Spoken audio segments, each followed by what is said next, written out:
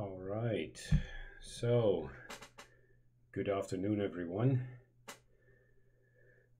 Let's see how this goes today.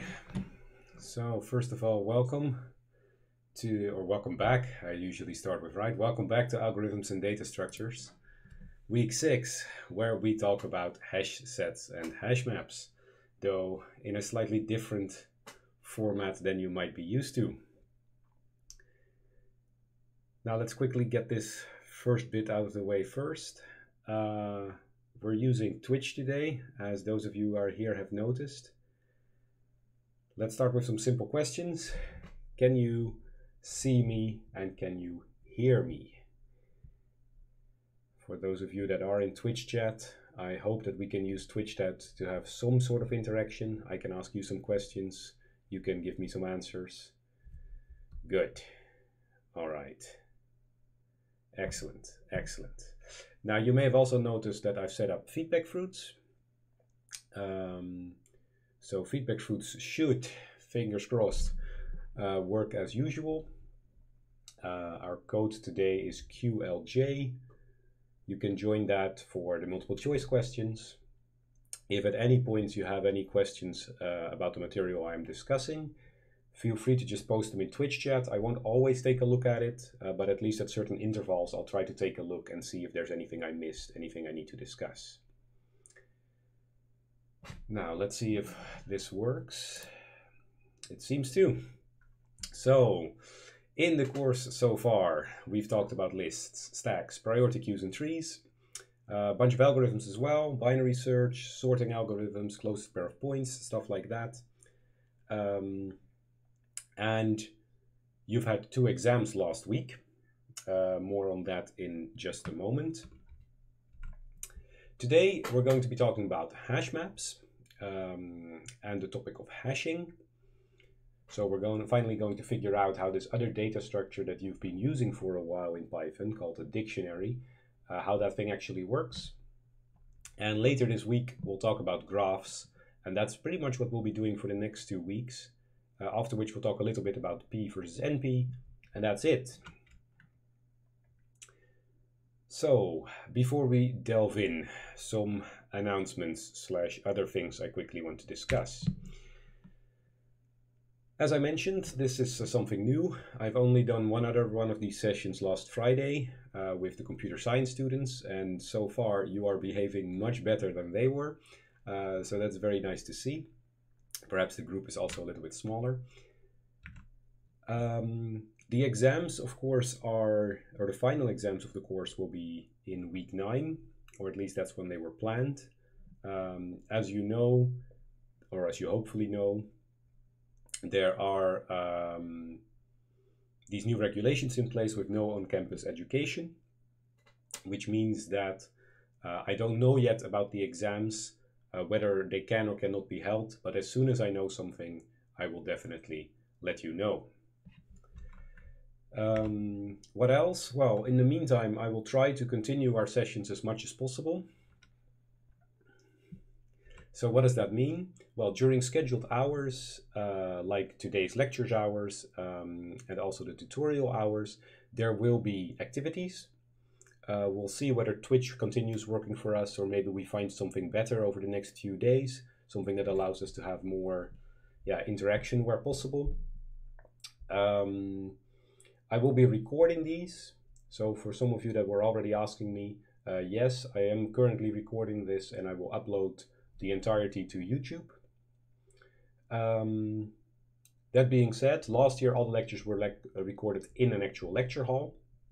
So I can imagine that might be slightly better quality material. Um, so those are available to you as well, of course. Uh, you should continue doing your homework in the meantime. Uh, we will be providing week six in WebLab as soon as possible. Uh, I've been quite busy preparing all kinds of weird stuff like this, uh, but the exercise should be available to you soon. Of course, there's always the books, uh, as well as just the lecture slides. And if you have any questions, uh, always feel free to ask them on the Brightspace forum. Now for the lab sessions on Wednesday and Friday, uh, we will also have to see a bit how it goes. I posted an announcement about them, uh, which you probably read because otherwise you wouldn't be here now. Um, I'll be setting up the queue, and you can use that in combination with Talkie to get some uh, voice time with TAs if needed. Now, what else did I want to discuss? Well, you've had midterms uh, last week. Uh, my plan was originally to grade all of them on Friday. Unfortunately, last Friday I've had to lecture for three hours using this material or this method as well. Uh, so that's going to take a little bit longer than I planned. I hope to have the results to you by, at the end of this week. Uh, but, well, as I wrote, uh, no promises. It really depends on how this week's going to pan out with all of these uh, unexpected challenges coming our way. Uh, was there anything else? Yes. So while we have feedback fruits working, let's see if we can actually properly make this work. I see only 10 people have connected, so I'll skip the statistics slides.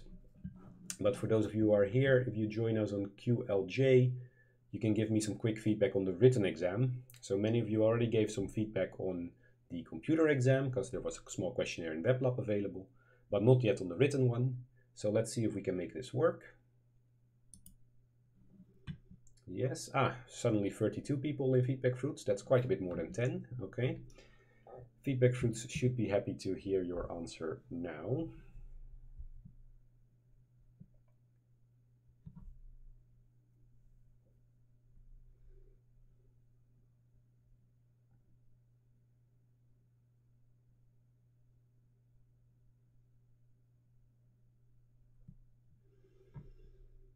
Okay, a couple more seconds to give me an answer if you have one.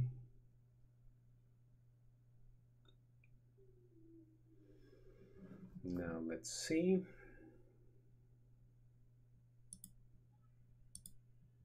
Yes, okay, so I did this well. I was hiding the stats for these. Since it's only a small group, I wasn't sure whether I should publish this on the internet live. Uh, I can let you know the outcome of this via Brightspace later if you're interested.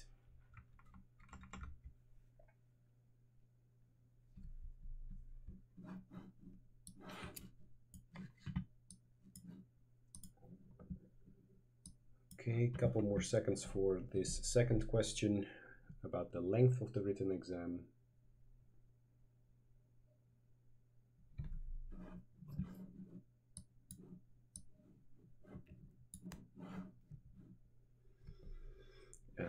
Okay. All right, so this question will come up later. So let me start by saying thank you for your feedback. Uh, now, of course, normally at the start of the lecture, I would also ask, do you have any questions at the moment? I can imagine you might have. Uh, so if you do, feel free to type them into Twitch chat and I can see if I can answer one or two. If we have no questions over the next 20 seconds or so, we'll just get started.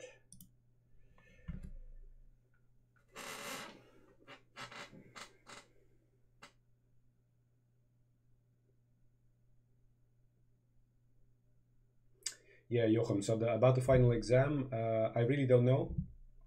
Um, at this point, all I can say is that I am awaiting instructions from this from the university. Um, I assume that they will come up with a plan on how and when we are going to take exams for the courses. Uh, until I hear from them, unfortunately, I have no answers for you. But as soon as I do, I will, of course, let you know.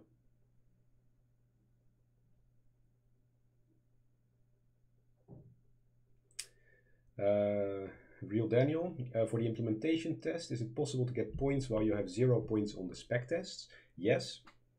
Um, so I've been grading some assignments already. Um, and indeed, there have been situations where you, people would fail all the spec tests because they flipped around an if statement or something like this. Um, right? It should have been if bli smaller than, but instead they did if bli larger than. Um, but this can still definitely get you a number of points.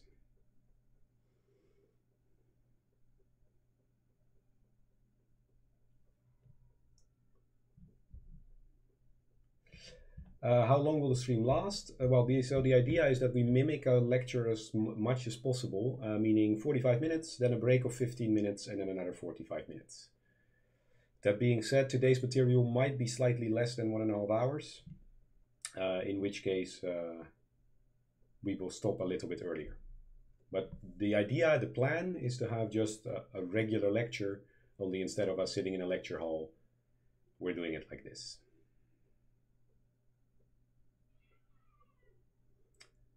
All right, I see no more questions coming in for the moment. So I suggest we just try to get started. So today uh, we are going to talk about hashing and hash maps. Now, uh, I've been grading your exams a bit and I've been using uh, a tool called Zesje that you are probably familiar with because I believe some of my colleagues from mathematics also use this. For example, Focko uh, probably used it. Um, is a great tool, right? It allows me to scan your exams uh, and then grade them uh, digitally. But Zesje also has uh, a challenge to face, right? So uh, we have a number of exams, and what we want to do is efficiently access your exam based on your student number or even based on your name. Um, so, for example, um, if I wanted to access skills exam, I would put in skills name uh, and try to uh, access their exam that way. But all the data structures we've studied so far, I say all, but most of them have been list-based, right, or tree-based. They seem to rely on some sort of notion of a, uh, an index or a place in the tree. So how can we transform a name or a large number efficiently into one of these places? Well, one thing we could try um, is just have an array-based list, right? Um, if I know your student number, I can just use that as the index of the data and I can find it in constant time. That sounds good, except that well, all your student numbers are around the 50,000 range. So I'd need a huge array to keep track of all of your data where I'm not using any of the first part. You might say, okay, so just subtract whatever the smallest number is from all of the numbers, right? So number 50,000 becomes number zero. That could work. However, your student numbers are also what we, well, non-contiguous, right? So there might be large gaps between two student numbers. And that means that there would still be a lot of wasted space here. So what could we do to avoid this? Well, you probably already know a solution. Uh, we could use a dictionary in Python. Dictionaries allow us to use any index we like. Uh, it could even be a string, it could be uh, a number, it could be anything really. And that sounds great, but the question is, how does that even work, right? Uh, is it actually better than having this massive list? So that's what we're going to be talking about today, figuring out uh, how this dictionary works and why it is better to use than an array-based list for data like this. All right, let's see if we can get that going. So let's talk about maps. Now, how? why am I going to talk about maps? Because unfortunately, uh, the name that Python chose for its dictionary is a bit unfortunate. Many other programming languages, and especially, let's say, the more theoretical computer science, they refer to this data structure that Python calls a dictionary, they call it a map. So when I talk about maps, I mean what we call the abstract data type um, that a dictionary is one form of in Python. For instance, in Java, this thing is called a, a map. Um, in C Sharp, it's called a dictionary again. So all of these things have different names for it. But the core principle is what we call the map ADT, the map abstract data type. So how do maps work? Well, they require key value pairs. Um, and what do they do? Well, we can ask for the number of tuples in a map. We can get a certain value for a certain key. We can put a certain key uh, together with a certain value. I've put the abstract data type syntax on the left and the Python equivalent for a dictionary on the right and we can remove uh, certain tuples with certain keys, as well as check whether a tuple with a certain key is present. All right, so these are the functions that we're going to be focusing on when looking at our map ADT. Now let's take a look at how we could implement such a map. So one thing we could do is simply use uh, an array as our underlying data structure, right? So something we could do is just use one of these array-based lists. Um, and then we could implement stuff like get, remove, and contains. The question is, however, what would the time complexity of these functions be? Now, feedback fruits should be happy to hear your answer. So I'll give you half a minute to a minute to try and give me one.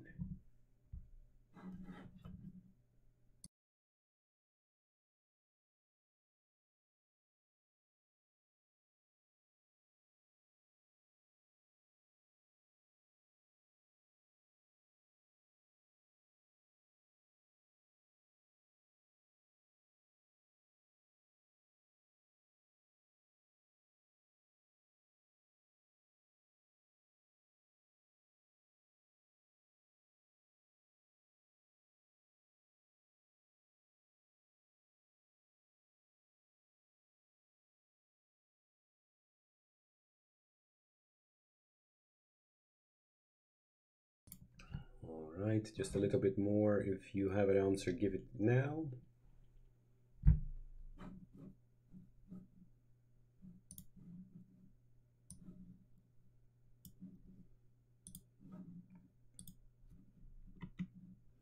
And let's take a look.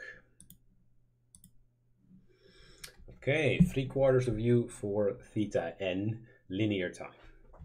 Yeah, so remember, um, that our array, if we just throw a bunch of tuples in that, or in our list, uh, all we have is this one large sequence of, of tuples.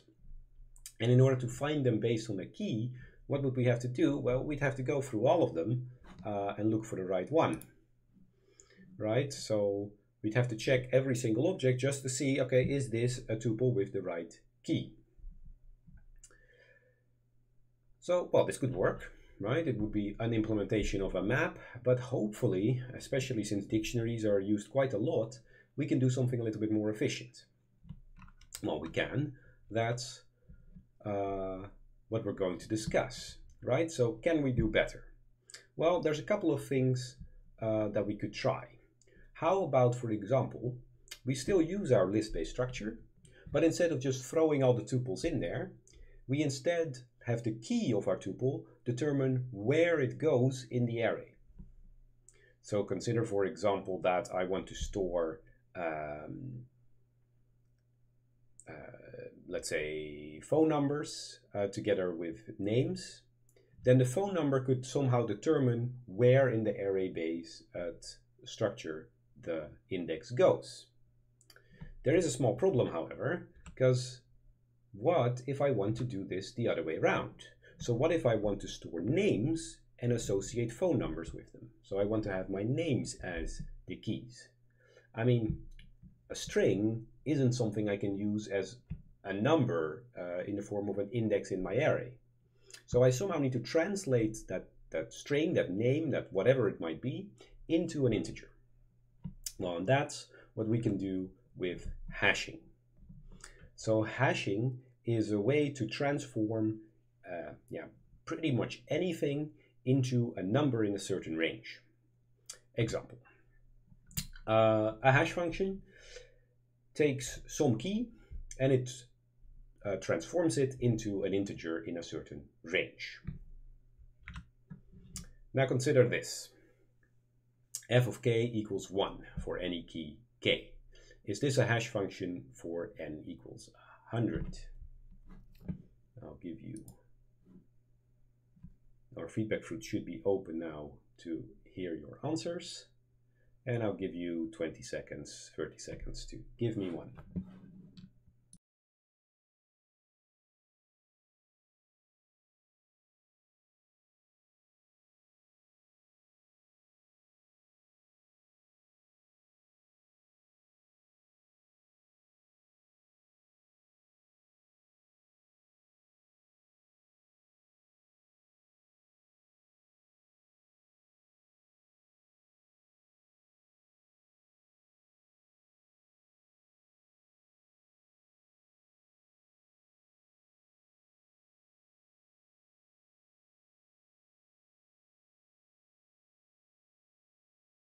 All right. five more seconds to give me an answer if you have one.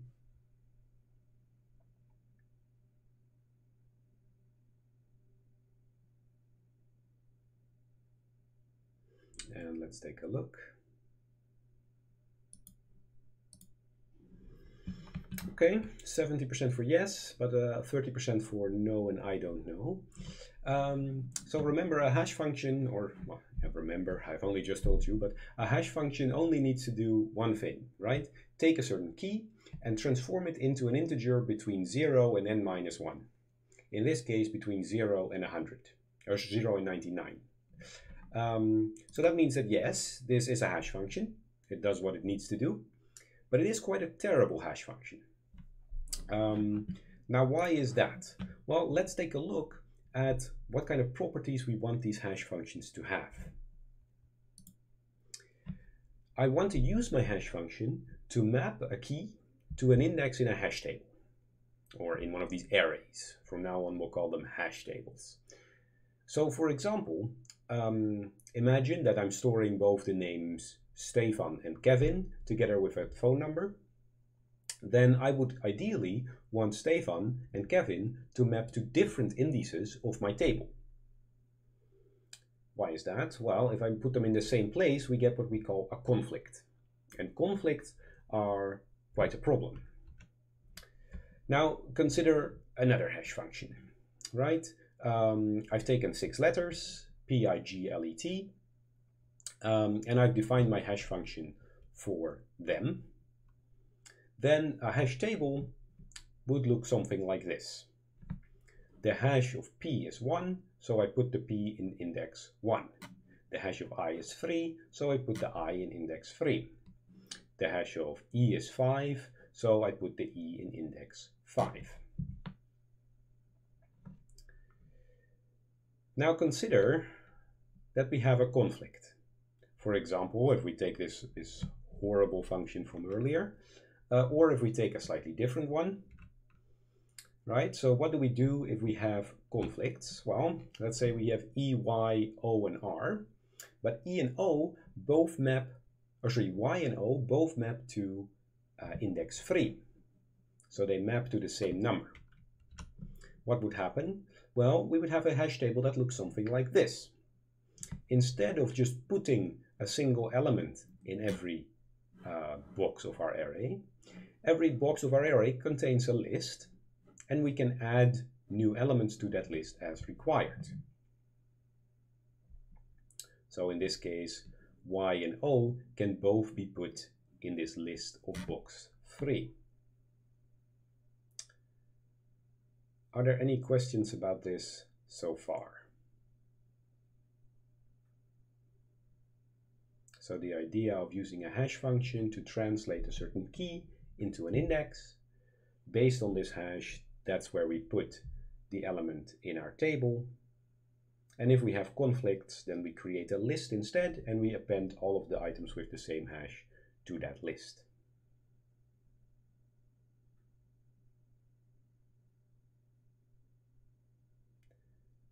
I see only silence in chat, so I'm assuming no questions for now.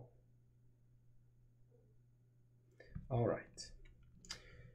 So we have this. Um, ah, okay. One question from Gideon just came in. So how does a computer store that data?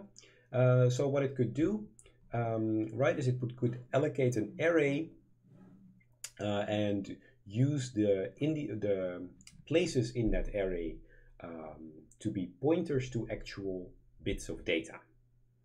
So it becomes a bit technical then, uh, perhaps more technical than is required for this course. Um, but yeah, so what we could have is we have an array of pointers to lists. And if we want to add something to element number three, I go to the third thing in my array, I take that pointer to the list, and then I can put stuff in that list. Does that make sense?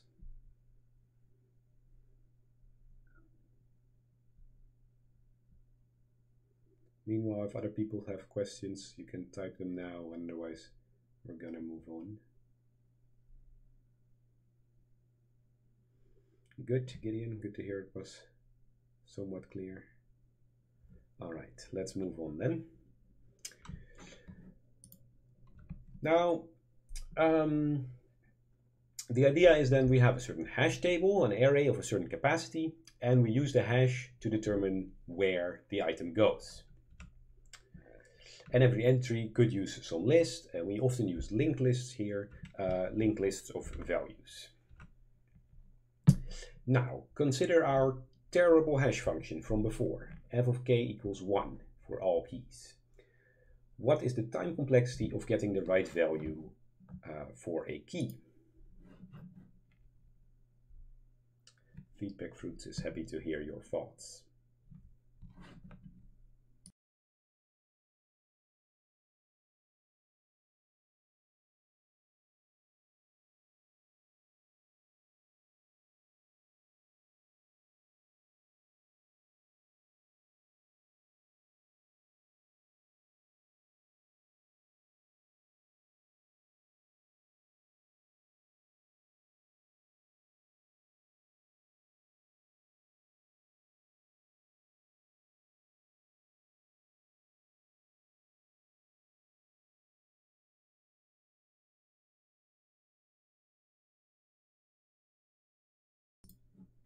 All right, 10 more seconds to give me an answer if you have one.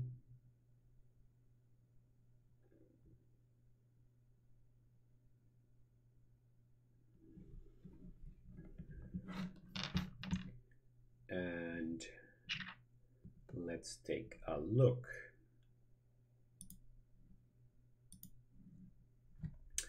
Ah, again, an overwhelming majority for theta n. Yes, you are quite right.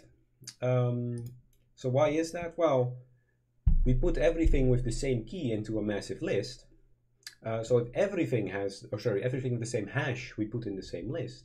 So if every key gets mapped to the same hash value, everything is going to be in the same index. Everything is going to be in that one list. So indeed, getting something out in that case still requires going through that entire list and seeing is it in there or not. So that would indeed still be linear time. And that's where we get some inspiration for some nice properties of these hash functions.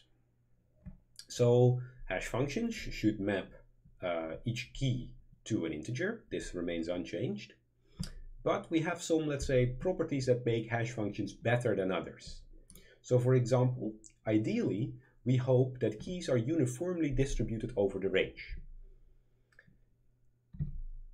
In this way, we can ensure that these extra lists that we create of these conflicts is as, are as small as possible. Similarly, we hope that it's a deterministic function, meaning that when two objects are equal, their hashes are also always equal. And if I call the hash function again, I get the same value, right? So both deterministic as well as um, for equal objects, their hashes are also equal. And finally, it would be great if we can efficiently compute the hash function, right? If the hash function requires quadratic time to compute for whatever weird thing I'm throwing in, um, that wouldn't be great. So preferably, um, it is a very efficient and quick thing to compute. Now, this makes our uh, f of k equals 1 pretty terrible. So why is that? What is the property that it breaks? Uh, I don't have this in FeedbackFruits, but let's see if we can use chat for quick interaction like this as well. Fingers crossed.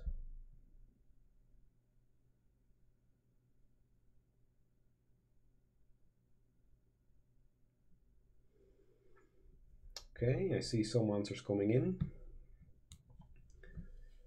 So the answers I see so far are at least agreeing uh, ah, okay. No, we have some disagreement. Good, good. Yeah, so uh, let's start with the first property, right? Keys are uniformly distributed. That's not the case here. Everything maps to the same value.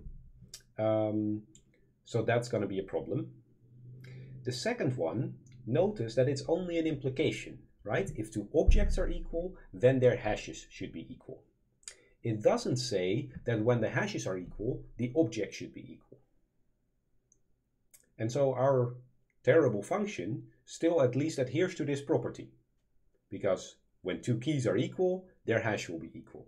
In fact, everything is going to be uh, equal. All the hashes are going to be equal. Uh, Finstar, I'm sorry that the cam's lagging. Uh, I don't have a webcam, so the thing I'm using now is my phone, and sometimes that uh, doesn't work great. So apologies for that, and I'm afraid there's at the moment nothing I can do about it. Um, Jochem, you were asking what does it mean to be uniformly distributed? So ideally, when I put in, um, in the ideal ideal scenario, when I put in n different items, they all map to a different index. So one maps to index zero, one of them maps to index 1, one of them maps to index 2. Um, and when I put in two n items, then we have 2 everywhere, right? So that's the real ideal scenario. They are nicely, yeah, what we call uniformly distributed over the entire range.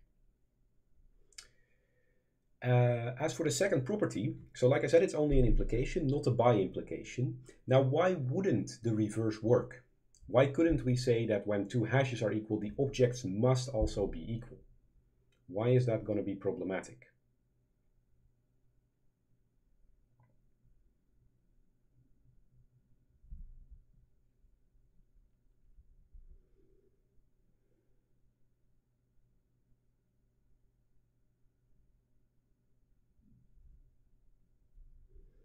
Seems that the, delay in Twitch is a little bit worse than it was on Friday.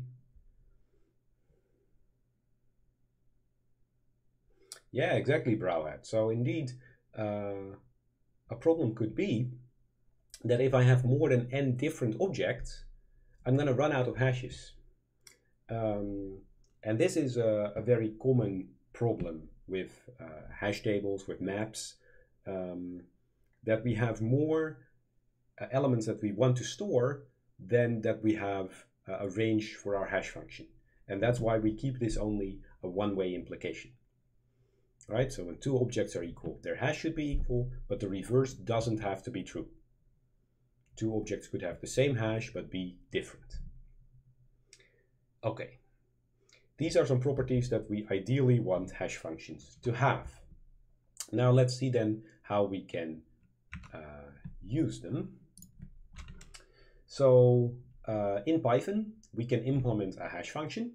So consider uh, a class point that has two properties, a value x and a value y, then our hash could, for instance, be uh, just add them together.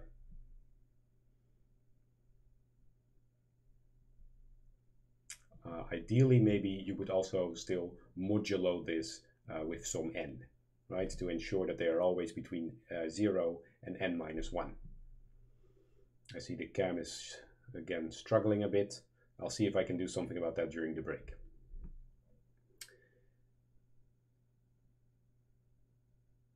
Uh, yeah, so one way to do it is just to add x and y together. Alternatively, uh, I could do something like this. I could multiply x by 31, multiply y by 7, and then add them together. Now, the, the one on the right is something you'll often find uh, different programs do. So, for example, um, Python will use something like this to keep track uh, of hashes of maybe strings do something with where in the list the string is uh, instead of just adding all of them together. Now, that might just be good, but uh, yeah, we have two options here. Which one's better? The right is something that is perhaps more commonly used, but the left is also definitely a valid hash function. So which one would we pick? FeedbackFruits is happy to hear your answer.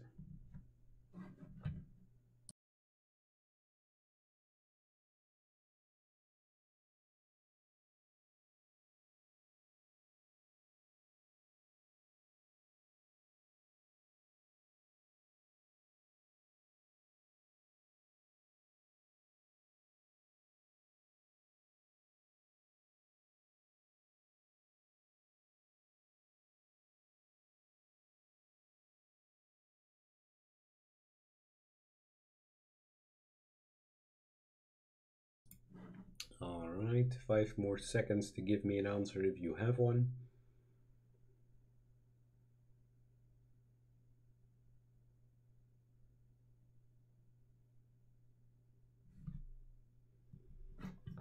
And let's take a look. Very nice. Very nice split between the different answers. So I'd argue here that the right answer is answer C. I don't know, or rather, of course, it depends. Um, it depends on what kind of points we expect to see. So a downside to the one on the left is uh, that the one on the left has simply, simply the summation of x and y. Meaning if I have the point 3, comma 4 and the point 4, comma 3, where only the x and y coordinates are swapped, they're going to have the same hash value. The one on the right, however, uh, right, this, this way for you, because the webcam is mirrored for some reason, uh, the one on the right doesn't suffer from this issue. If I only swap x and y around, I get a completely different hash. So it really depends on the kind of points we expect to see. If we expect to see a lot of points that are each other's mirroring, if you want, mirrored in the xy, uh, x equals y axis, x equals y line, um, then the one on the left is going to be pretty terrible. But if we see many different points that are, well, coincidentally adhering to the function on the right, so every time x decreases by 1, i decreases by something else to compensate for this, um, then the one on the right is going to be pretty bad. So it really depends on the number of points or the, the way the points are distributed. If you want, you can write a bit of code uh, to count the number of conflicts, right? So you can just uh, compute the hashes for a bunch of points and see, okay, how many map to the same value. A little bit more about that in today's intermezzo after the break. So both are valid hash functions. Both could be good hash functions. They try to make different points map to different values. Um, but which one is better really depends on how the points are distributed.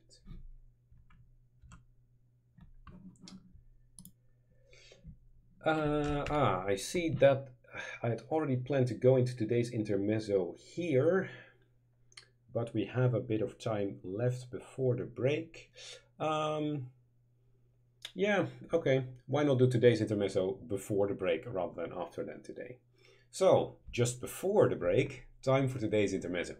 And let's talk about hashing um, in the real world.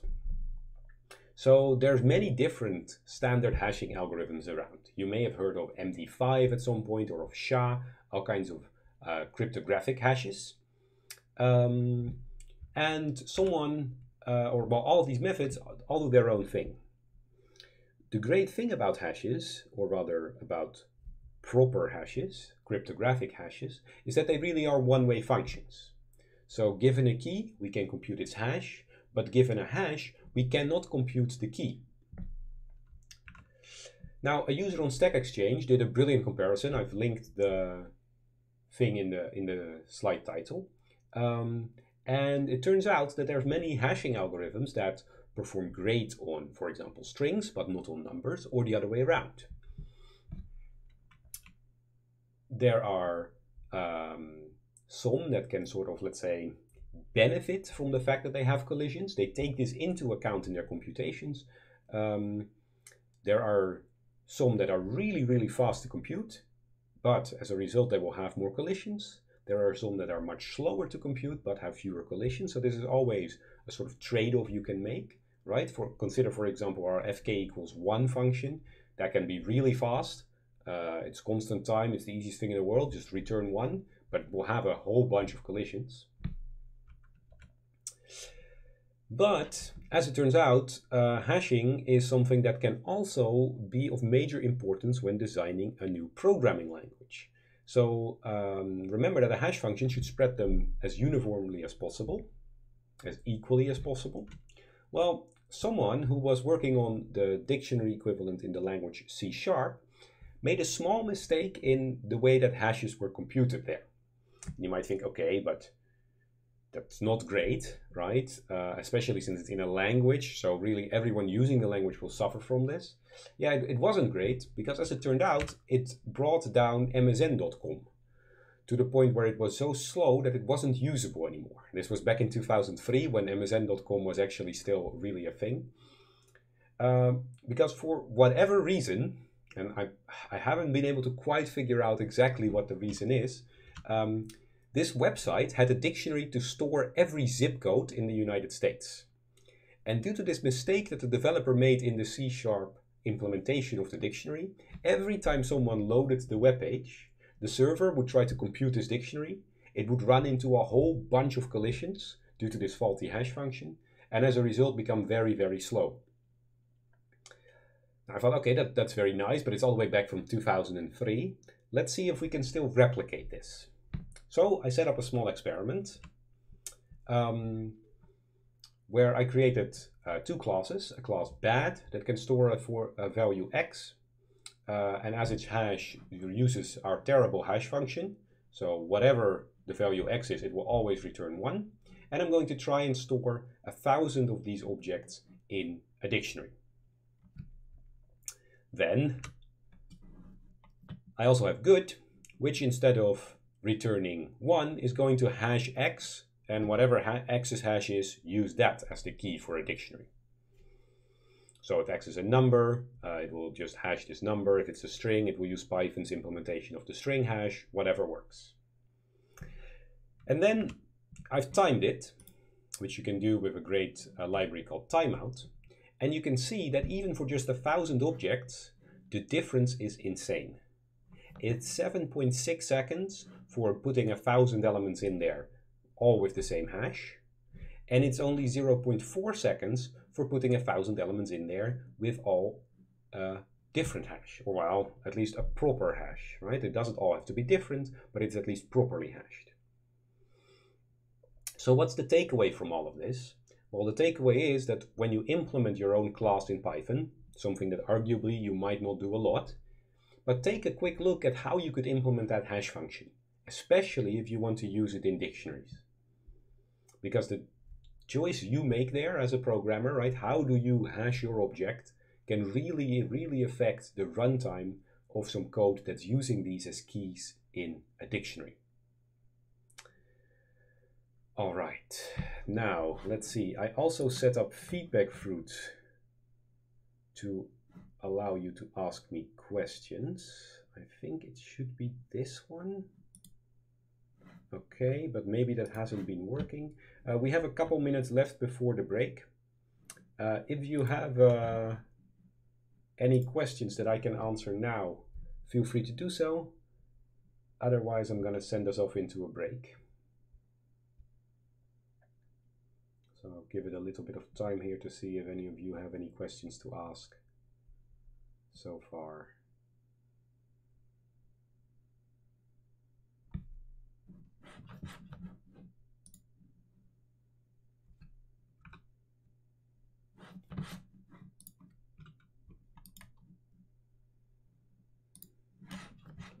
Doesn't look like it. So in that case, uh, ah, okay. One quick question just uh, at the end from Browhead again. Uh, is this what they use for cryptographic hash function for, for example, Bitcoins? Well, so for Bitcoins, hopefully they use something far more advanced than the stuff I'm going to be showing you. Um, but this is the same idea. So this is also uh, uh, the idea of taking some yeah, what we usually call a private key, something that so no one is allowed to know about, and only share its hash. And the uh, instead of wanting the property of uniformly distributing them so we can use them in a dictionary, the main importance there is that given the hash, we cannot reproduce the original key. Uh, and this is something that's used in all cryptographic hash functions, this notion, um, including uh, the ones related to bitcoins. Um, what else was I going to say about this? Yes, and this all ties in very nicely with the last topic of the course that we will be discussing. So in the last week, we were discussing P versus NP, and we can talk a little bit more about hash functions then. Because this really relies on the fact that going one way is easy, but going back the other way is going to be hard. All right. With that, let's send us into a break Uh, I'll try to stick around a little bit to answer questions in chat if you have any questions during the break. Uh, but otherwise, I'll see you back about 15 minutes from now.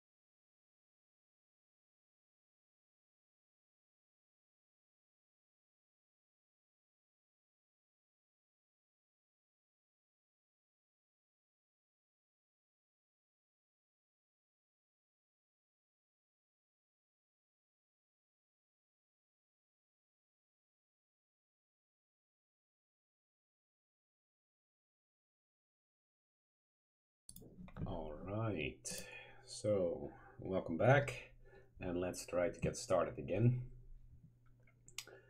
Now, before we begin, thanks for sticking around. I realize that Twitch might not be ideal as a lecturing platform, but I think so far we're making it work.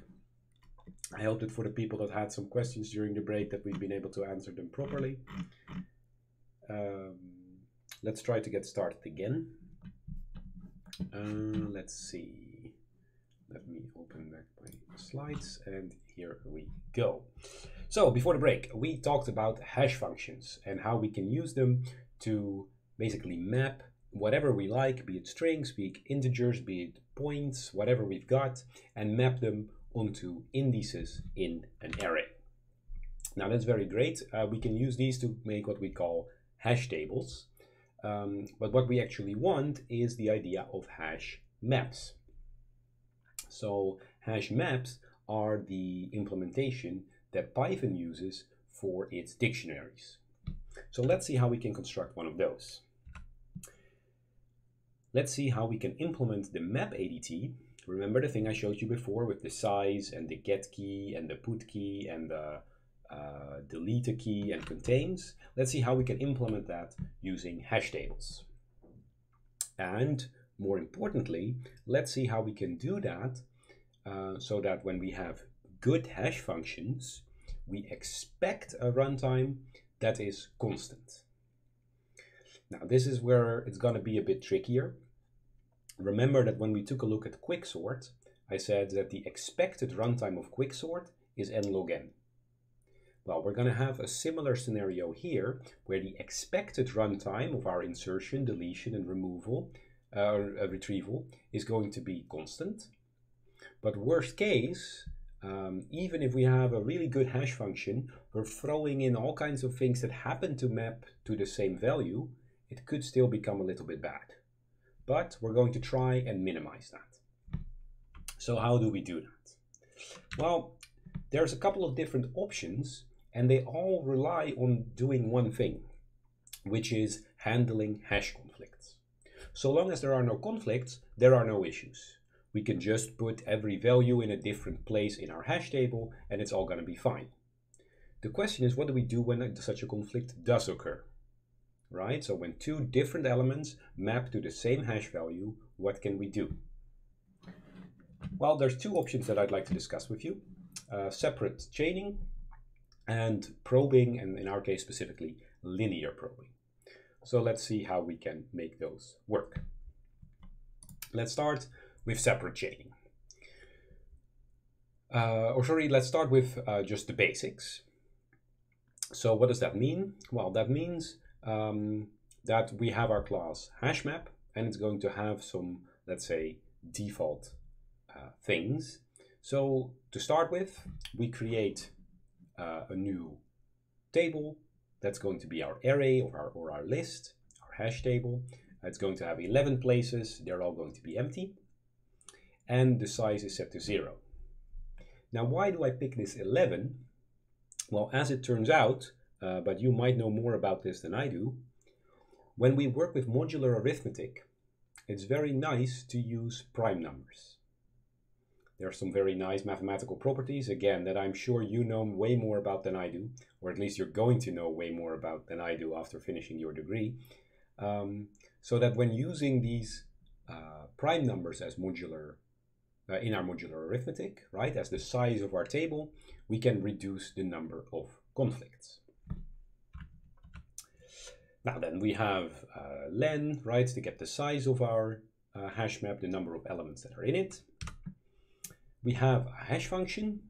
So given a key, what do we do? Well, we hash the key, but we also want to make sure that it is within this certain range, right? So remember a hash function would map it to somewhere between 0 and n minus 1. That's exactly what we're doing here, where our n is uh, the size of our table. So to start with, it is that 11. Then we need to have a way to get something out. Well, what do we do? Uh, we hash uh, the key.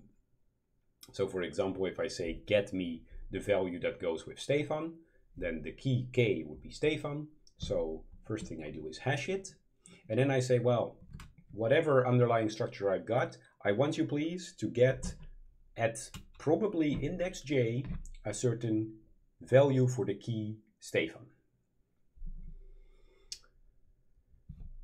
And of course, we can also put an item. Um, again, I first determine where should it go by hashing our key. And then I say, okay, put it in there. And now there is one more important thing I do, which is related to a thing that we call the load factor. What do we do? Well, we say if the size is larger than the size of the array divided by 2, meaning I'm using more than half of the places in my array, then it's time to resize. At that point, conflicts could start occurring more. More than half of the places are taken. Uh, well, our hash function has the restriction that it needs to map them between 0 and n minus 1. Um, and at this 50%, that's our threshold for saying, okay, stop. We could run into conflicts far too often. What am I going to do? I'm going to make my table, my underlying table, twice as big. This is a little bit similar to how these array-based lists worked that we've studied, right? When they were full, we would multiply their size by 2 and copy everything over. Well, in this case, when this thing is full, then we make it twice, or when this thing is half full, we make it twice as big, and we copy everything over. So that means that looking at this, um, the way this is going to work is going to depend on this lines 15 and lines 19, getting things into bucket and putting, or getting things from buckets and putting something in buckets. So what can we do? Well, we can use separate chaining, and that's the method we've been studying so far. So separate chaining is the idea that every bucket is simply a linked list. Um, and therefore, if one bucket needs to hold more than one item, so if two items map to the same, uh, have the same hash, yeah, that's fine. We can just put them in the linked list. That's the easiest method to implement. Um, but of course, there is some overhead involved in reserving some space for these linked lists. Now, uh, I would like to practice this. I've set up something that I hope can qualify as somewhat of a blackboard. Um, but before I do that, I'm going to give you, let's say, one minute or so while I get set up to see if you can draw me what this looks like. So it's going to be one of these boxes that we've seen before, right? Uh, with indices and then places in the array. And I'd like to know which of these keys goes where. Uh, like I said, I'm going to give you a minute or so while I get set up, and then we'll take a look together.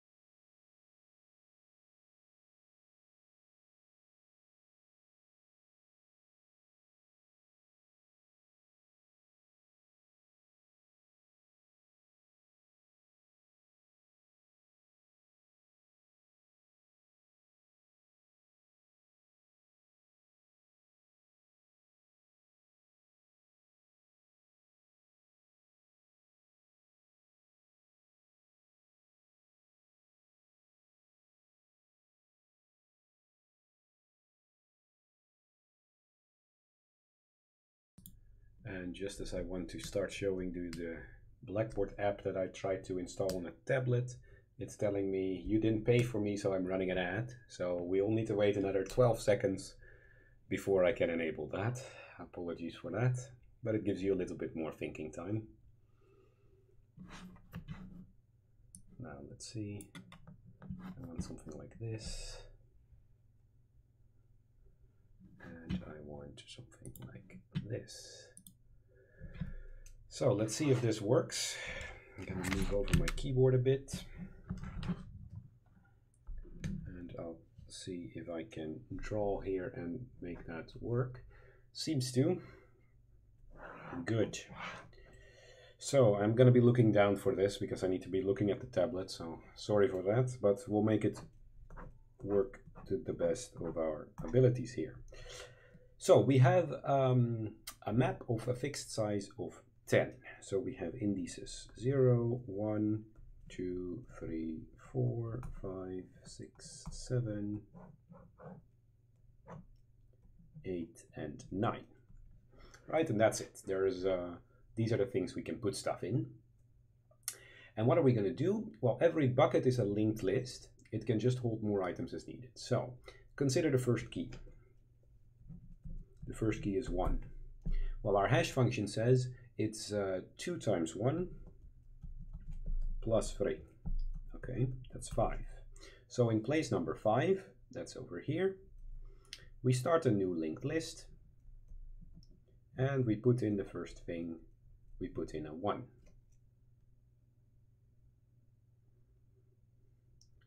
Okay, it looks like I can't move the text lower, but I'll start moving the, I'll just start writing the rest lower. So f of 2 is 2 times 2 plus 3, that's 7. So in place number 7, we start a new linked list with 2. If anything about this is unclear, please feel free to ask questions about it in Twitch chat. In the meantime, I'm just going to continue. Now f of 7 is 2 times 7 plus 3. Uh, that's 17. But that's a small problem because our list only has 10 spaces. Well, remember our trick from earlier? I can just modulo this with the size of my list, in this case to get 7, to fit it inside of our hash table. So 7 goes in the same place as the 2. It goes here. Let's do two more. So f of 12 is 2 times 12 plus 3 is 27. 27 mod 10 is also 7. So this also goes here. And maybe as our last one, let's do 20. Well, 27 isn't really interesting. Uh, let's do 19. So f of 19 is 2 times 19 plus 3 is 41. 41 mod 10 is 1. So to 19 comes here.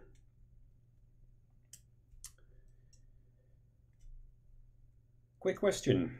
Why is this hash function not a great choice?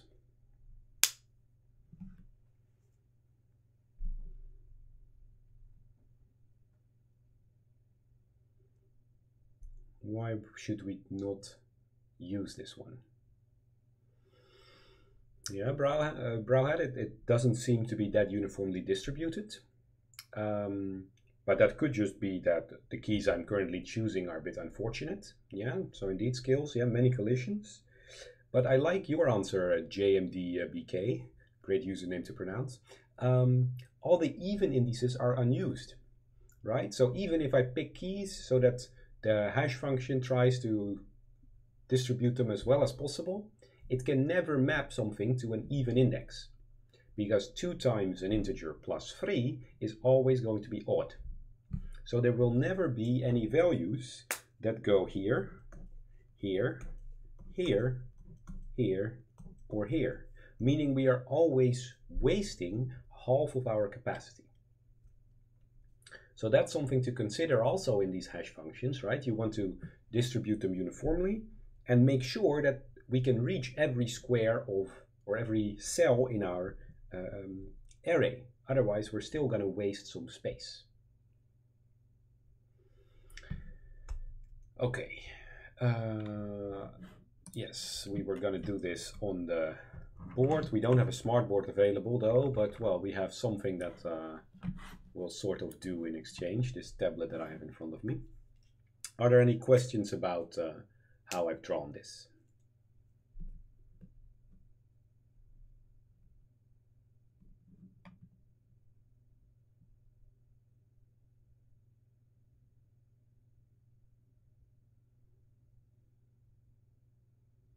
Quiet all around, so I'm gonna assume not. Okay, then let's move on. Uh, yeah, let's move on. So we've seen one example of how we can make this separate chaining work on a piece of paper. Great. Um, let's take a quick look at how we could do something like this in uh, Python. Um, so how would it work?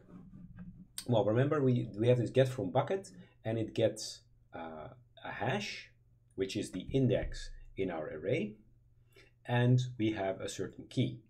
Now what it's going to do, imagine that we call this with uh, get blah blah blah uh, 8, sorry, 7, can I undo this? Yeah, there we go. 7 comma 12. What's it gonna do? Well, line 4 says first get me the bucket in place number 7. So get me this thing. And now we're gonna simply iterate through this whole list and see if indeed our key is in there. If it is, then we should return the value associated with it. So that's something I haven't drawn uh, in my diagram. In the diagram, I've only put the keys, but normally, right, in a dictionary or in a map, you would have a key value pair. Now let me switch these around so that we can now talk about the other method. There we go. So in the other method, uh, if the slides are too small, also please let me know. I can make them bigger at the cost of losing more blackboard space. But um, uh, yes, uh, big boy, uh, the great username also. The table itself is just one of these array-based lists. Yeah, yeah. Okay, so what about put? Well, again, it's going to take a look at the place it needs to go. So let's say that we're putting something in uh, place number three. I want to put in there the key uh, zero, right? With our hash function from earlier, that still works. Two times zero plus three is indeed three. Then first thing it does on line 11 is it takes a look at this cell almost the right place to draw that circle. It takes a look, a look at this cell and uh, it figures out, okay, is there already a list in here? At the moment there isn't, so then what does it do? It creates a new list. And now we need to check, okay, is the key already in this list? So that's the for loop from line 14 to 17. Because as you may already know from dictionaries, we can use a key only once. And if I again try to put something on the place of that key, I should update it instead of adding it. Right? In Python, if you have a dictionary, then if we do these two lines of code one after another, it doesn't add a new entry, it updates the entry. So that's what the for loop is for in line uh, 14 to 17. But if we haven't found it in our list yet, then we should add it as a new place in our list with a key value pair. So that's separate chaining in Python. Any questions about that?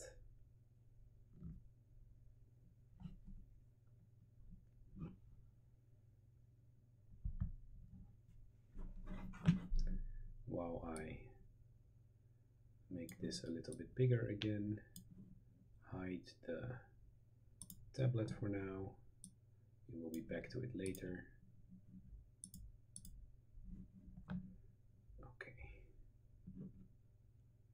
Good. Then let's see. So that's separate chaining. It's one way in which we can implement um, dealing with these hash conflicts. Another thing we could do is instead of using this idea of, okay, we have a conflict, what do we do? Well, just create a list, throw them all in there. We can use something that we call probing. Now, there's a whole variety of ways in which you can implement this, but I want to take a look at linear probing with you. So what's linear probing? Well, we try the same thing, right? So, okay, we need to put something in place 6, put it in place 6. Problem, place 6 is already taken. Then what do I do? I try to put it in place 7. If place 7 is also taken, I try to put it in place 8. And I continue this way around, looping back, right? So in our example of size 10, if place 9 is also taken, I go back to place 0 and I try to place it there. And I continue with this until I found a place to put it.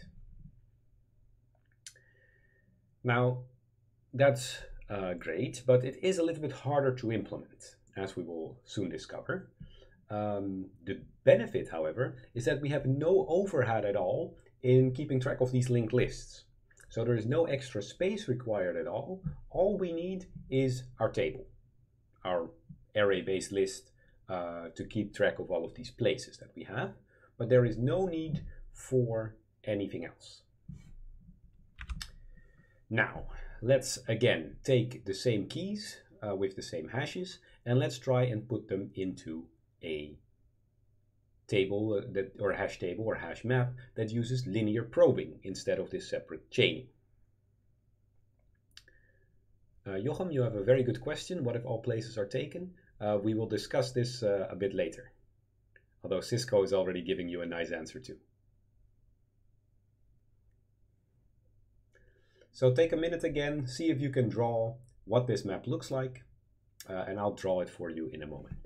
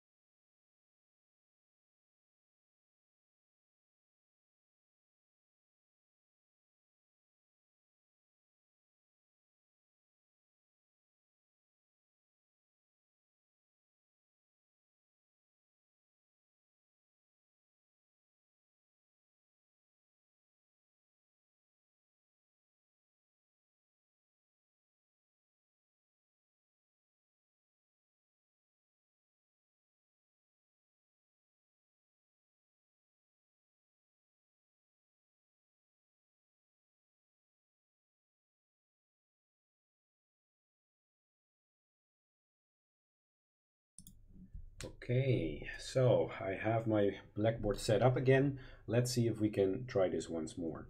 So, once again, we have our map of size 10. 1, 2, 3, 4, 5, 6, 7, 8, 9, and 10. Indices. Uh, it's gonna run another ad. Okay. Dang it. Okay, we need to hide the tablet for a second wait for this stupid ad to pass. I should look into getting a different application for next time. Fortunately, this was an ad I could cancel out of. So we're back a bit quickly, a bit more quickly. Let me just resize this. There we go. Okay, uh, I could use Paint Finstar, but I'm I currently am using a tablet to draw on, and I need to somehow synchronize the tablet with my laptop or my, my desktop. It's it's quite a messy setup, but I'm gonna look into alternatives for later. Let's see if we can fix this. So f of 1 was 2 times 1 plus 3 is 5. So we put the 1 here. f of 2 was 2 times 2 plus 3 is 7. So we put it here. f of 7 was 2 times 7 plus 3, but we had to modulo 10 it to also get 7. Now problem, 7 is already taken. So I can't put it there. Instead, I'll put it in the next available space. And we continue. f of 12, 12 times, oh, uh, yeah, this was correct. 2 times 12 plus 3 mod 10 is also 7. 7 is taken, 8 is taken, so I continue to the next one, and I put it there. f of 13 is 2 times 13 plus 3, that's 29, mod 10 is 9. 9's taken, so I loop around and I put it at the start. And we can continue doing this for the others as well. One, one is not taken yet. 22. That's going to be 7. 7's taken, 8's taken, 9's taken, 0's taken, 1's taken, so we have to put it all the way over here. And finally, 27 is 2 times 27 plus 3. That's also 7. So all taken, so we have to put it over here. Now, why could this situation never happen for a real hash map? Well, because remember, when half of the positions are taken, we would resize it. And as soon as we resize this thing, we would have a size of 20. And therefore, when we copy over these values, some would change their position. For example, our, does this work? Yeah, it does work. This does work. Our 29 here, I'm not sure if this dot is in any way visible. It might be too small, but I hope it's okay. Maybe if I do... No, I'm afraid we'll have to make do with this. Uh, our 29 here, modulo 20, is still going to be 9. But our uh, 17 here, modulo 20, is going to be 17. So when we resize the table, we can also sometimes accidentally, if you will, reduce the number of collisions simply because we have a bigger range available for our hash values to take. Okay, so we have this idea of linear probing. If a cell is taken, great, just put it in the next one. But that means it's going to be a little bit harder to retrieve a value, because where do I need to look? Well, um, imagine, for example, that I want to get the key 22 back from this map that I've drawn. When I'm hash 22, I get 7, so I start looking here, and I conclude, yeah, well, this isn't the one I'm looking for. Okay, but maybe something happened, maybe I should continue to the next one. Well, this isn't it, but maybe something happened, maybe I should continue to the next one. And so on and so forth, and then finally it will find 22. But now imagine that instead of looking for 22, I'm looking for 32. 32 is also going to hash to 7. 2 times 32, 64, plus 3, 67, modulo 10, 7. So it starts here, can't find it, moves on, moves on, moves on, moves on, moves on, moves on, still can't find it, and now it gets to an empty square. And that's interesting. Because an empty square means that it can no longer be in the map at all. It can stop looking. How do I know? Well, if it had been in there, it must have taken the next available space. Therefore, it would have taken this one. But this one is empty, so it's not in there. Unless, hmm, maybe 32 was in there, but we've deleted it from the map. Remember that delete, deleting a key is also a, an option that we can, or an operation we can do on our map. So how should we deal with that? How could I make sure that looking for a key that doesn't exist can still be stopped as quickly as possible? Well, also, like I said, the idea is we start walking and we continue until we find the value or an empty place. But what happens when something has been deleted? Well, in those cases, what could we do? simply make the cell empty, set that cell to some special marker. Always, well, there's, there's nothing really we can do, just check the whole thing. Uh, and while we're doing that, might as well start moving stuff backwards so that next time we don't have this empty cell to deal with. Or every time we delete something, screw it all, we'll just rebuild the whole map. FeedbackFruits is happy to hear your answer.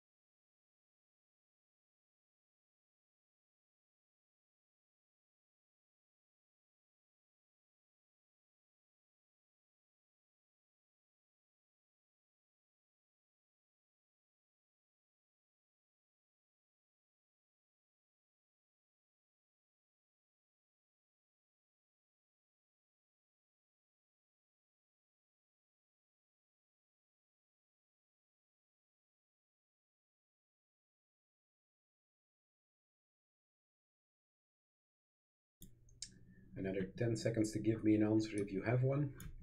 Uh, Woof Woofus is already asking other good questions, right? If you delete entries and it gets below half filled, do we reduce? Well, similar, do we reduce the size?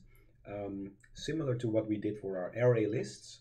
Uh, remember, we would grow when we were full, but we wouldn't shrink as soon as we reached half the space for an array list, because this could lead to this notion of thrashing, where repeatedly moving one element and deleting one element could lead to us allocating more and less space every time.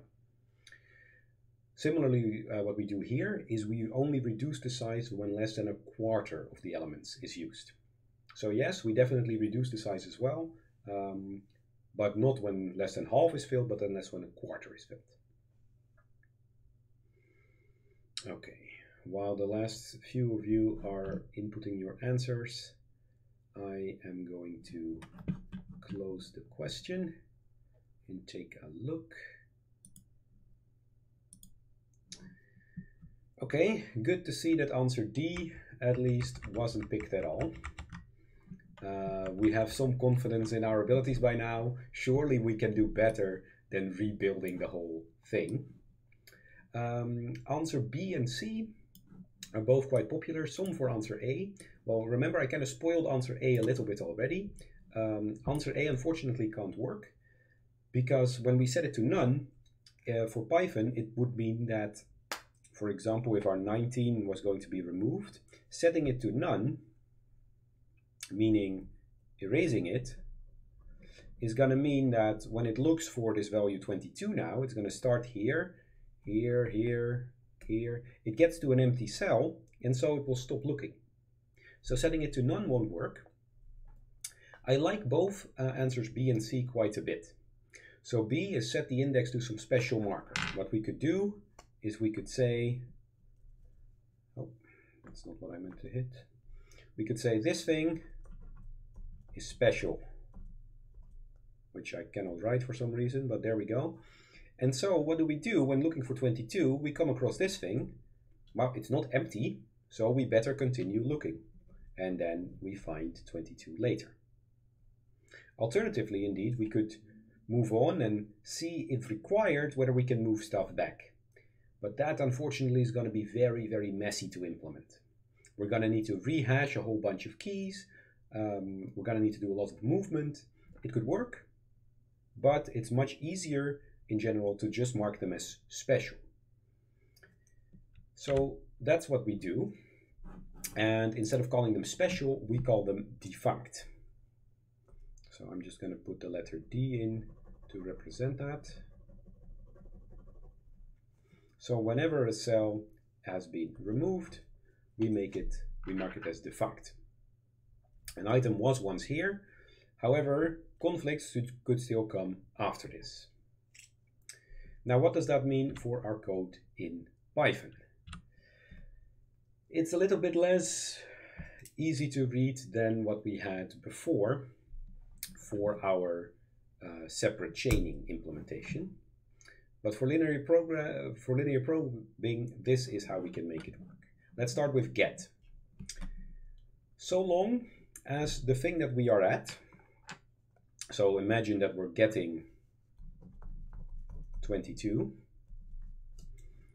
So long as the thing that we're at, and we start of course at the hash of 22, which is 7, so long as it's not none, well it's not none, and it's also not defunct, move on.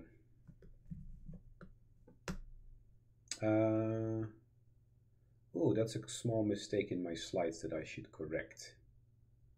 So while it's not none or while it's defunct. Right, because even for defunct keys or defunct cells, we should move on. So first we take a look at the 2. It's not none. So we take a look at line number 8. Is this the key we're looking for? No, we're looking for key 22. So we move on. It's not none. Is this the thing we're looking for? No, we're looking for 22 and not 7, so we move on. Is 12 the thing we're looking for? No, we're looking for 22, not 12. 13, nope. Now we get to a defunct cell, and this is a mistake I should correct in my slides. Um, so a defunct cell means that we should recognize it's defunct, but still move on. And then we get to 22, where line 8 will finally be true, and we return the value corresponding to key 22.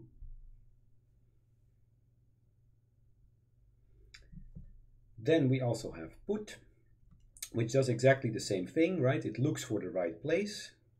If it can find it, great, we can update it. And if it cannot find it, then line 19 says, whatever place I've ended up with at the last bit, that's where I'll put it. questions about this code.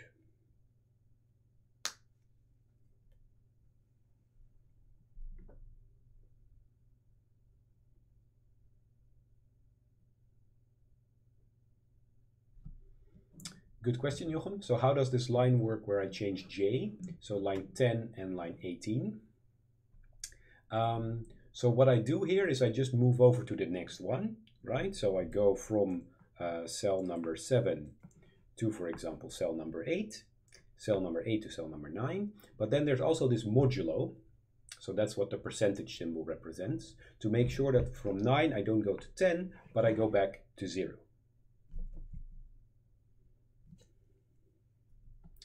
Does that make sense?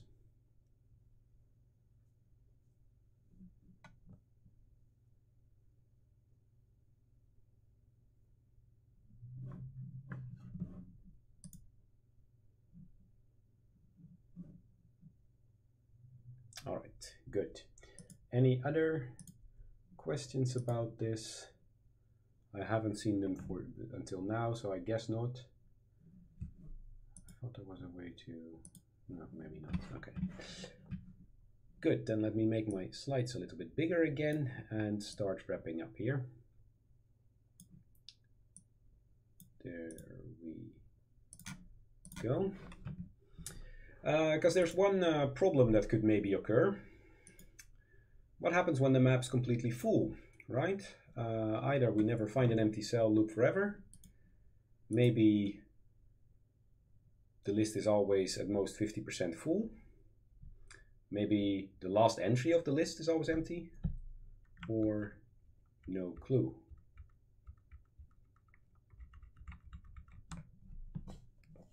FeedbackFruits is happy to hear your answer, while the tablet is playing another poker red.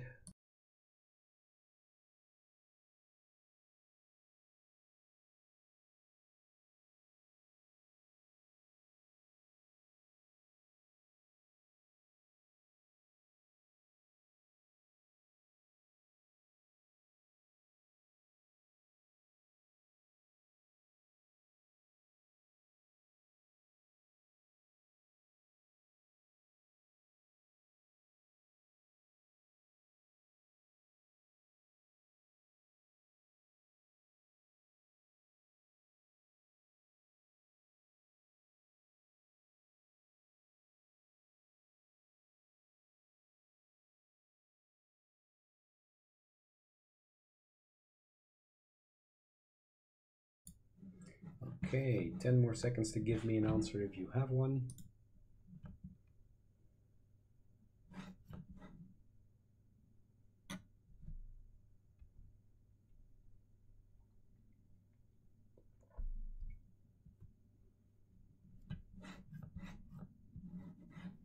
And let's take a look.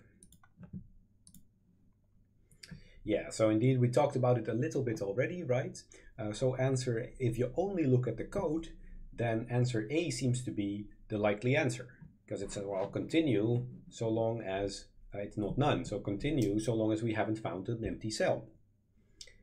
However, um, something that we did in our hash table implementation is that when half of them are used, we wanted to maintain this thing called a load factor so that at most half would be used. So as soon as we reach this threshold, we'll make ourselves twice as big, meaning every single moment at most 50% of the entries are used. Uh, and for that purpose, defunct entries um, could still be considered a part of that. Now, someone asked uh, via FeedbackFruits, and thank you, Danny, for also repeating it in chat. I'll be checking the questions in FeedbackFruits in a moment, uh, but it's good to already see it. If you add something, um, can you also add it in a defunct bucket? So that's a good question, right? Because this notion of defunct means something used to be here, now it no longer is. So it seems like maybe we can reuse it. Well, we could, but we have to be very careful. So let's see if my poker ad has finished playing. Um, and it seems to have. Consider, for example, uh, let me update this back to show you very quickly the tablet again. Mm, just going to put it on top of my slides for a second. Consider that I might want to reuse this defunct entry then what happens now if I now do put 27, right? Oh. Put 27. 27 maps to index 7, so it's going to start here and going to look for a place. It now finds this defunct cell. What it could do is it could say, okay, then that's where I'll put it. So I'll put 27 in here uh, in here. My sheet of paper has moved on the tablet, so the paper no longer corresponds to the screen. I'll put the 27 right here. Problem is that 27 is already in the table. And by stopping at our first defunct cell and saying, I'll put it in, thanks skills. Turns out you can't see the blackboard. All right, uh, here we go. Let's try this again.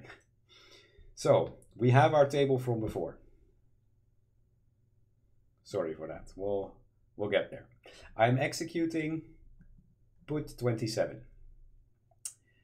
Uh, 27 hashes to index 7. So we start looking over here. We look, we look, we look, we find a defunct cell. So we might now say, okay, great, that's where I'll put it. I'll put 27 in here.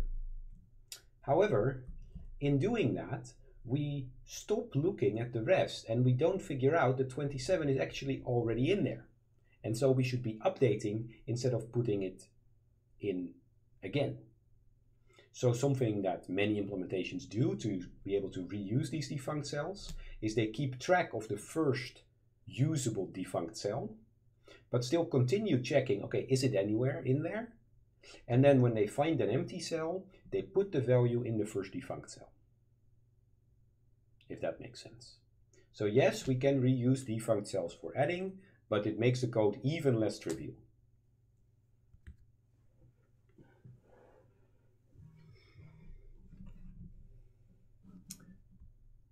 I don't know who asked the question in FeedbackFruits, but if there's more questions about this explanation, uh, please by all means let me know.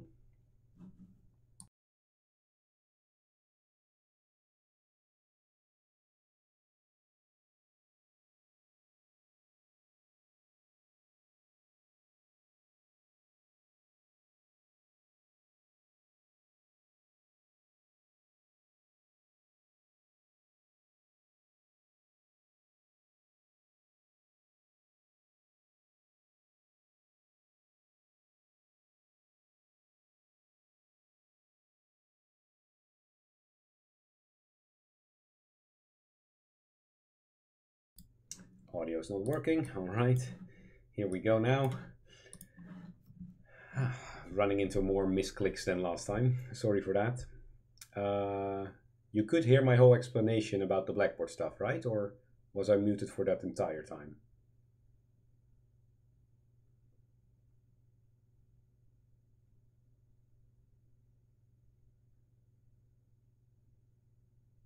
Okay, good, good.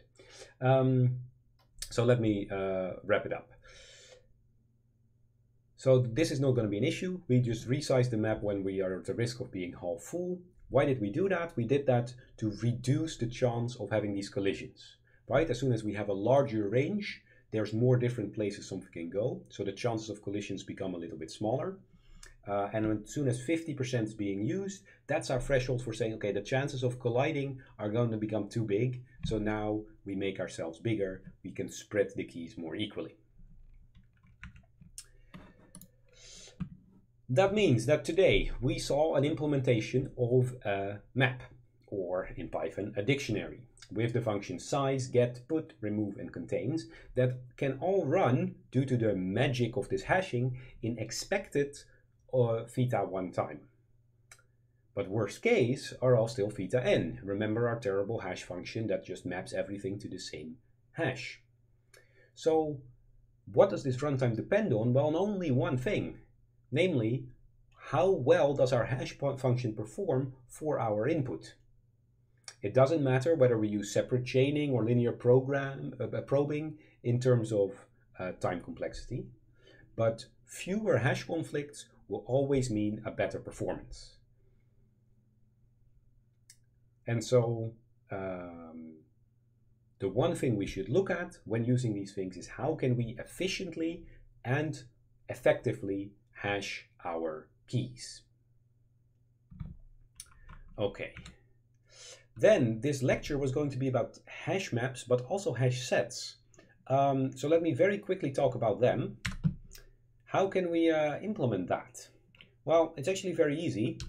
Um, a set is just a dictionary, but with only keys. So we call these things hash sets, and they are hash maps that do not store any value for a key.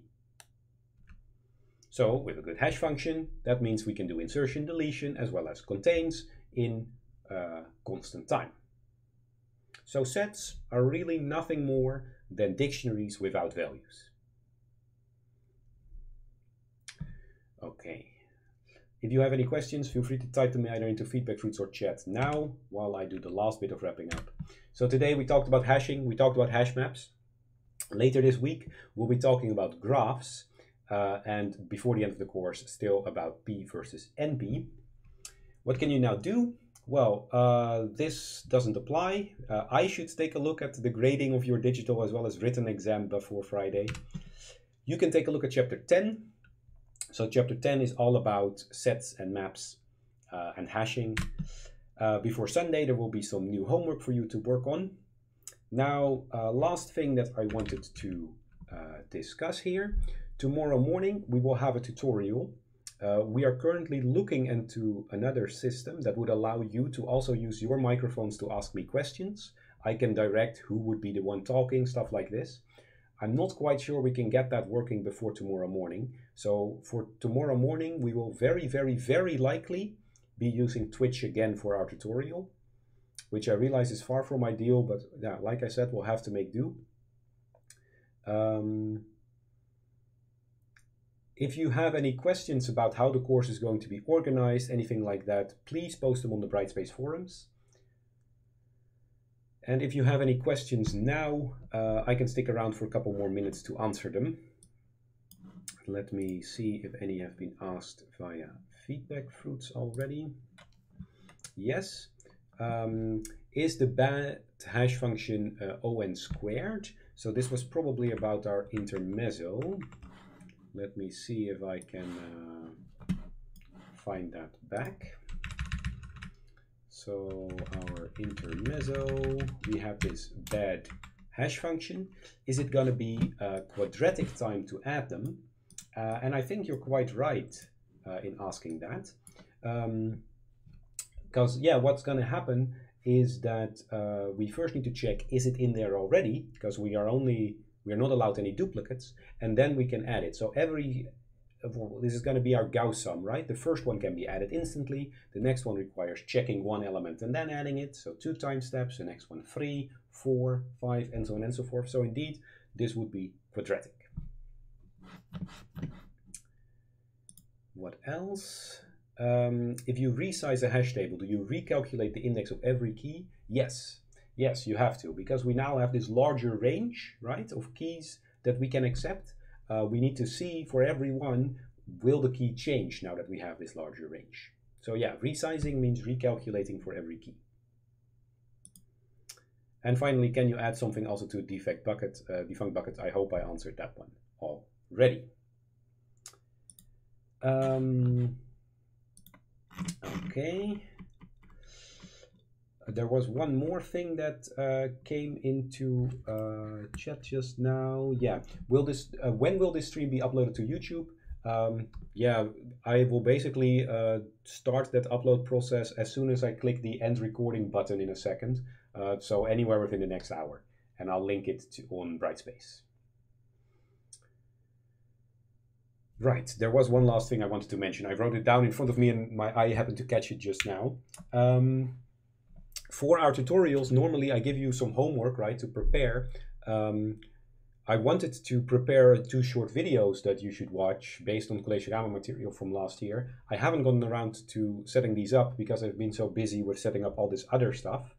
Um, so not to worry, for tomorrow's tutorial, there is nothing to prepare. We will spend probably the first half doing some exercises related to hash maps, hash chat, stuff like this. Um, and then the second half, I will give you an introduction to graphs. It will unfortunately be less tutorial setting than my tutorials normally are. Uh, it will be a little bit more lecturing, but I hope that's okay, and I hope we can make that work. Last question for today from Jochem. Is there an average case or amortized runtime for those hash tables? So uh, like uh, quicksort. There isn't really an amortized way to, to talk about these things. Uh, in spec, what we have is what we call an expected runtime. Uh, so we expect the operation to be constant time, provided we have a good hash function. Similar to how we expect quicksort to be n log n, uh, provided we pick our pivots uh, somewhat okay.